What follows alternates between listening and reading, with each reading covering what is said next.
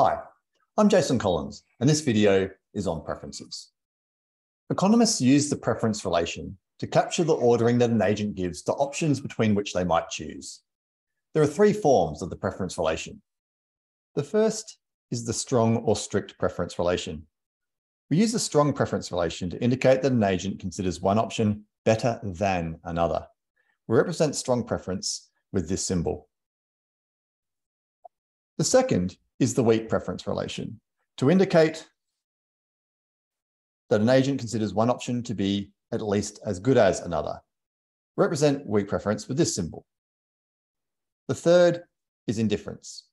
Indifference occurs where an agent considers that each option is as good as the other, or that the agent is indifferent between the options.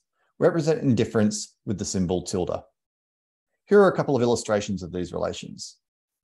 Suppose I strongly prefer bananas to apples. I'd write my preference as shown. Bananas are better than apples.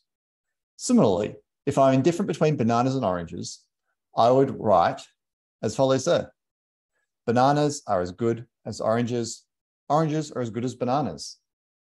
There is an important link between indifference and the weak preference relation.